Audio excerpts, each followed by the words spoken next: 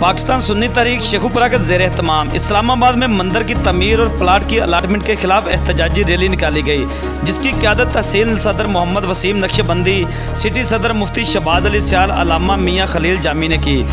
पाकिस्तान सुन्नी तहरीक शेखुपुरा के जेर तमाम इस्लामाबाद में मंदिर की तमीर और प्लाट की अलाटमेंट के खिलाफ एहतजाजी रैली निकाली गई, जिसकी क्यादत तहसील सदर मोहम्मद वसीम नक्शबंदी, सिटी सदर मुफ्ती शबाज अली सियाल अलामा मियाँ खलील जामी ने की।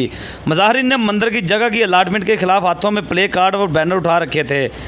खिताब करते हुए मोहम्मद वसीम नक्शबंदी मुफ्ती शबाज अली सियाल अलामा खलील जामी ने कहा तहरीक की काल पर एहतजाजी रैली निकाली जा रही है, जिसका मकसद इस्लामाबाद में जो मंदिर की तमीर की जा रही है। हम हुकूमत वक्त से यह मुतालबा करते हैं कि सी डी ए और हुकूमत वक्त इस मंदिर की तमीर को जो अलाट किया गया प्लाट है, उसकी अलाटमेंट फिलफौर मनसूख करे। क्योंकि ये पाकिस्तान, कलमा तयबा और दो कौमी नज़रिया की बुनियाद पर मार्ज वजूद में आया था। लेकिन अफसोस कि ये हुक्मरान और गैर मुल्की और यूत नसारा को खुश करने के लिए मुतहरक हैं। लेकिन इन लोगों को जिन जिनको इस्लाम और पाकिस्तान के लोगों ने वोट दिया।